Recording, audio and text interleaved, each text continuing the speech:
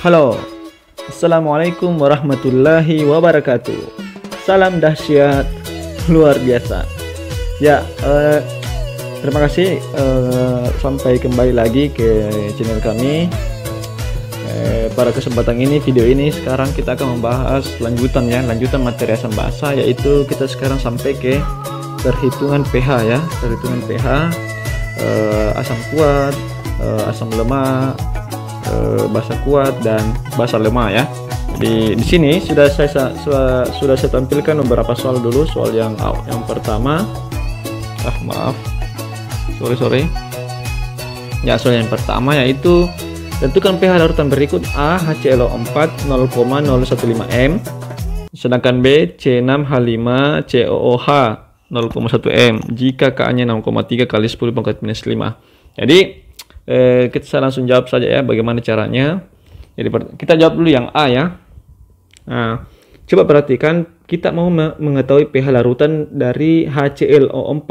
Nah, pertama, kita harus cari tahu dulu apakah ini HClO4 adalah asam atau basa. Itu dulu ya. Itu dulu. Nah, saya rasa Anda sudah tahu HClO4 itu apa. Saya rasa Anda sudah tahu bahwa HClO4 itu adalah uh, asamnya karena kenapa? Ionisasinya menghasilkan H+ ya, maka dia pasti asam.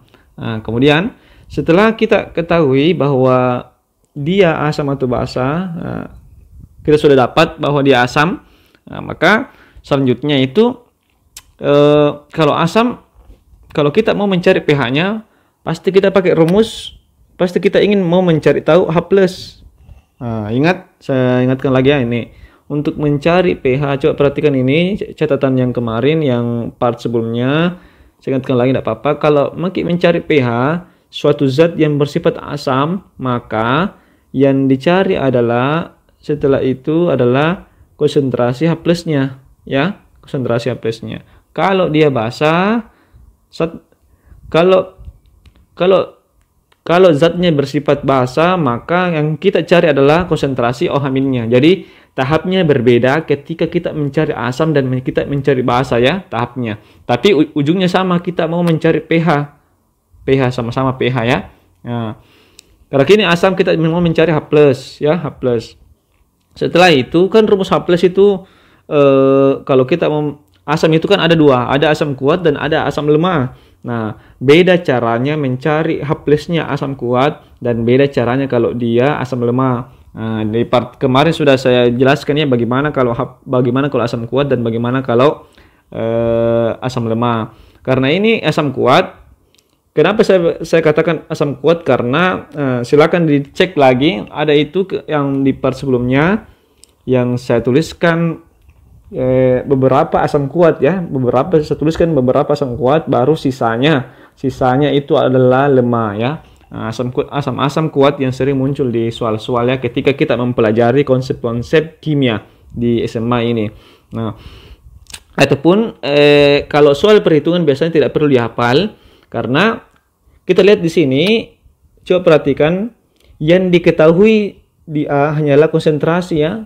Nah, yang diketahui hanyalah konsentrasi. Tidak tidak diketahui ya tidak diketahui nilai Ka-nya seperti yang di B ini. Jadi e, bisa disimpulkan karena tidak ada Ka-nya diketahui ini A, HClO4 asam perklo, asam perklorat berarti HClO4 ini adalah asam kuat. Berarti rumusnya adalah M, Ma dikali A ya. Nah, Ma itu konsentrasi dan A itu adalah valensi asamnya. Nah, jadi bisa juga dengan cara begitu ya, walaupun kita tidak hafal. Itu kalau soal perhitungan ya. Jadi kalau asam kuat itu pasti tidak ada nilai Ka-nya diketahui. Tapi kalau dia asam lemah pasti diketahui nilai Ka-nya. Karena bagaimana caranya kita mau mencari tahu, bagaimana kita caranya mau, mau mencari tahu pH-nya kalau tidak diketahui Ka-nya. Ataupun kalaupun asam lemah ini atau ataupun nanti basa lemah ini tidak diketahui Ka-nya pasti diketahui derajat ionisasinya. Karena di rumusnya itu mencari H+, tidak apa-apa saya buka lagi. Nah, ada dua keadaan. Apakah kalau dia diketahui Ka-nya, rumus yang kita pakai yang di atas akar Ka kali MA, sedangkan kalau dia tidak tidak diketahui Ka-nya pasti diketahui derajat ionisasinya ya, alfanya ya dikali langsung dengan MA tanpa pakai akar ya. Nah, tidak apa-apa saya ingatkan lagi. Nah, saya langsung, saya langsung saja ya karena dia bersifat asam kuat, maka langsung saja nah, konsentrasi MA-nya adalah berapa di situ di soal 0,015 m ya. 0,015 A-nya hanya berapa? Karena H plusnya hanya satu konsentrasi H plusnya hanya satu maka hanya satu. Nah, maka didapatkanlah 0,015 M konsentrasi H plusnya nah setelah itu setelah tahap ke H maka kita langsung langsung pH ya. Langsung saja kita ke pH ya karena H beda beda kalau bahasa. Setelah didapatkan OH ke POH dulu. Nah setelah didapatkan POH lalu dia ke pH ya tahapnya seperti ini ya beda ya beda tahapnya eh, asam dengan basa untuk mencari pH-nya ya. Ya. Nah, setelah itu pH-nya ya. Ya. Oke kita sudah dapatkan plusnya untuk mencari pH-nya itu adalah pH sama dengan min log H plus. H plus ya. Seterusnya plus ingat, ingat rumusnya. Maka min log min log ah, ini ini 0,0115 m ini paling enak itu supaya kita bisa pakai sifat-sifat logaritma yang saya jelaskan di atas kemarin di part sebelumnya. Eh, makanya ini konsentrasinya kalau bisa kita kasih dalam bentuk eh, kali kali 10 pangkat min ya. Nah, karena ini 0,015 maka saya bisa eh, bisa ditulis kayak begini. 15 dikali 10 pangkat min 3 ya. Tidak usah tulis kali pakai titik saja ya. 5 kali 10 pangkat minus 3. Kenapa? Karena ini ini komanya bergeser sampai ke 15 ya. Jadi bisa juga 15 atau bisa juga 1,5 enggak apa-apa. Pasti sama, pasti sama hasilnya ya. Kalau dia pakai kita pakai 1,5 ini kali 10 pangkat min 2. Nah, sorry, enggak bisa, enggak usah pakai kali, pakai titik. Harus kita biasakan pakai titik saja ya. Nah, jadi kayak eh, bagaimana caranya kasih begini? Kita geser. Kalau kita geser ke kanan, geser ke kanan, berarti dia eh, dia berkurang pangkat sepuluhnya ya, berkurang pangkat sepuluhnya. Eh, satu, dua, tiga. Jadi karena tiga kali bergeser ke kanan, maka pangkat sepuluhnya berkurang. Jadi begini ceritanya. Kan sebenarnya begini 0,015 kali 10 pangkat 0.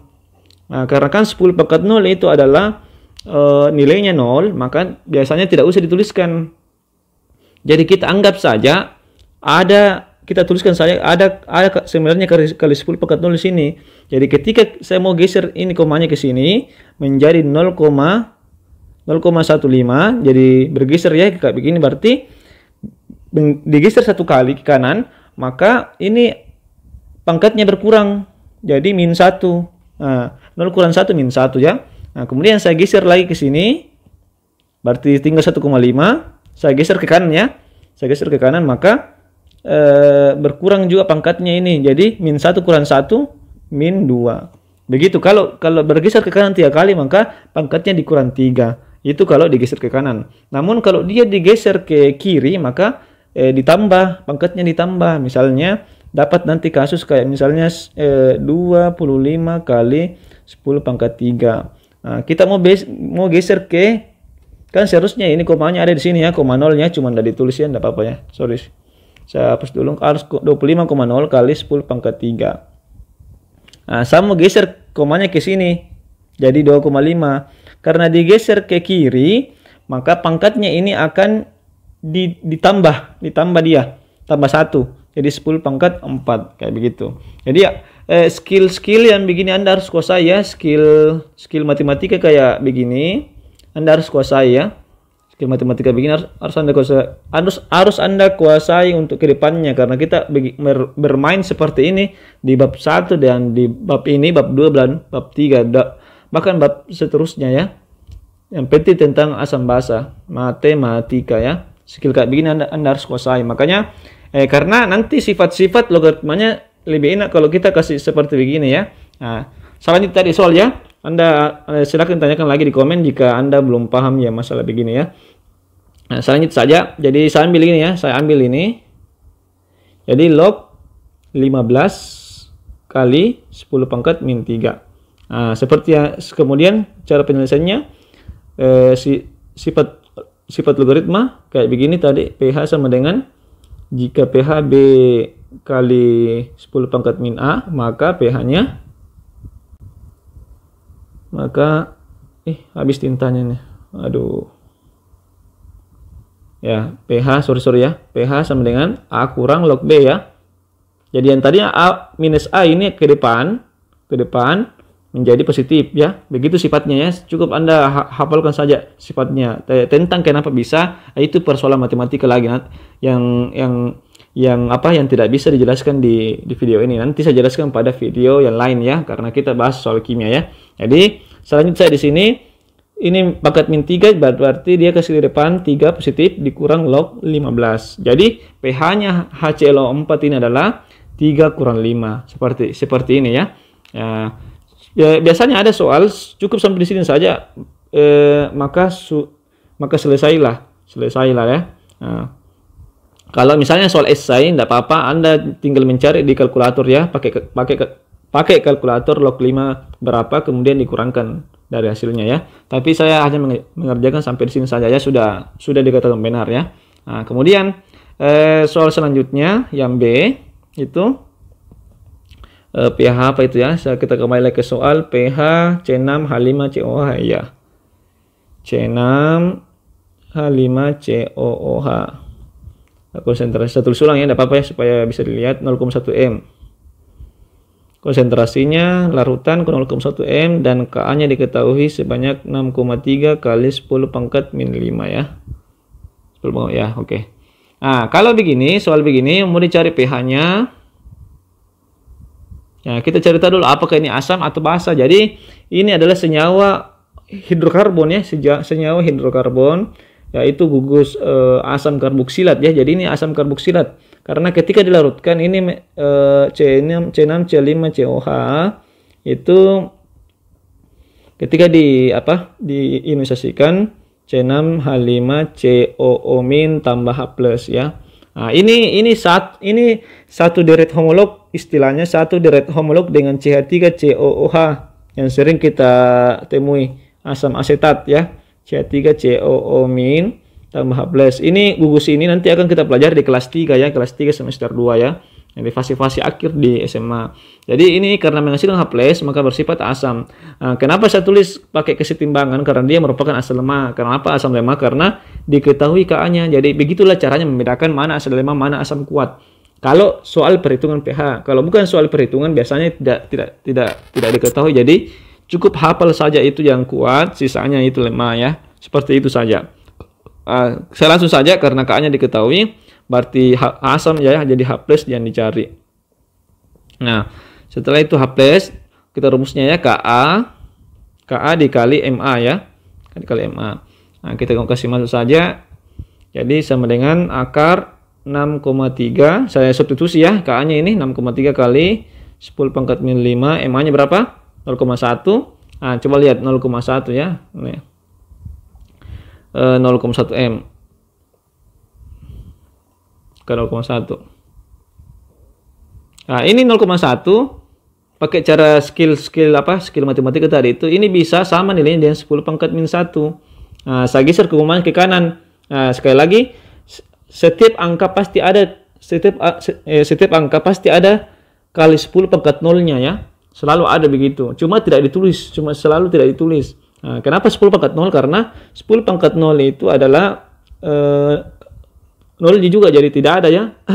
Jadi tidak ada. Jadi ketika di eh apa? 10 pangkat 0 itu satu ya. Sore sore 10 pangkat 0 itu satu. Jadi 0,1 dikali satu sama dengan 0,1 juga. Makanya tidak perlu ditulis ya. Seharusnya ada 0, eh, seharusnya ada 10 pangkat 0 selalu di sampingnya. Se semua angka pasti ada 10 pangkat nolnya jadi ketika kita mau menjadikan angka angka-angka seperti ini maka eh, saya geser komanya ke kanan supaya ada pangkatnya ya supaya saya mau tulis penulisan begini ya yang saya inginkan supaya ada supaya ada kali 10 pangkat sekiannya. Karena mudah dalam eh, sifat logaritmanya ketika kita mau mencari pH-nya ya jadi kita selalu mengarahkan ke situ. Jadi makanya saya geser ke kanan maka dikurangi pangkatnya. Dari 0 dikurang 1 jadi 10 pangkat min 1 jadi 1 kali 10 pangkat min 1 nah karena 1 tidak usah ditulis cukup saja ditulis 10 pangkat min 1 makanya saya tulis seperti ini tadi Nah, saya saya harap Anda sudah paham ya. Silakan ditanyakan lagi di komen jika belum ya. diulang live video tadi yang di sini yang saya jelaskan ya. Nah, jadi eh, langsung saja di sini akar 6,3 kali 10 pangkat min 5 dikali 10 pangkat min 1. Nah, jadi kemudian saya, saya bisa selesaikan ini karena mirip ya, mirip bentuknya. Maka eh, 6,3 berapa ini ya? 10 pangkat min 5. Nah, ingat sifat eksponensial 10 pangkat min 5 kali 10 pangkat min 1 eh, sifat eksponensialnya bagaimana? Berarti kalau sama 10 kalau dikali ditambah minus ditambah pangkatnya pang, eh, tambah pangkat jadi minus 5 ditambah min 1 jadi sama dengan 10 pangkat eh, min 6 ya. 10 pangkat min 6 nah plus plus kali eh, tidak apa-apa saja saya terangkan dulu karena penjelasan baru. Siapa tahu siapa tahu masih ada yang kurang matematikanya ya. Jadi karena plus plus dikali minus jadi min 5 dikurang 1 ya. Min 5 dikurang 1 sama dengan 10 pangkat min 6 jadi hasilnya ini 6,3 kali 10 pangkat min 6 nah, kemudian ini kita sudah bisa akarkan uh, akar 63 ya uh, kita kita akarkan kita selesaikan akarnya jadi kita cari akarnya 6,3 cari akarnya ini ya. Ya. ya kita apa-apa kita pakai kalkulator saja biar biar cepat ya. Mana itu kalkulator. Ya. Tadi akar ya, akar akar 6,3 sama dengan 2,5 ya. Jadi 2,5 jadi akar 6,3 adalah 2,5 kemudian uh, akarnya begini Nah, kalau akar dari sifat eksponensial, kalau akar 10 pangkat minus 6 berarti tinggal kalau pangkat seperti ini tinggal dibagi dua saja. Jadi akar eh sorry, jadi hasilnya jadi hasilnya 10 pangkat min 3. Cukup dibagi dua saja ya kalau di, kalau dia pangkatnya. Jadi ini hasilnya 2,5 kali 10 pangkat min 3. Jadi selesailah konsentrasi plusnya. Nah, kemudian kita masuk ke pH, saya langsung saja min log 2,5 dikali 10 pangkat min 3. Nah, berarti 3 kurang log 2,5. Nah, jadi dia bersifat asam lemah ya. Tadi ini eh, yang A3. Tadi 3 3 kurang log sekian ya. Juga ya. 3 kurang log sekian. Ya, 3 kurang log 5 ya. Jadi eh, begitulah cara mencari pH asam kuat dan asam lemah. Jadi silakan diper, eh, diperbaiki lagi silakan diulang-ulang lagi biar bisa lebih paham ya terima kasih atas kesempatannya uh, next lagi kita uh, mencari pH asam kuat dan basa eh sorry basa kuat dan basa lemah terima kasih assalamualaikum warahmatullahi wabarakatuh salam dahsyat. Luar biasa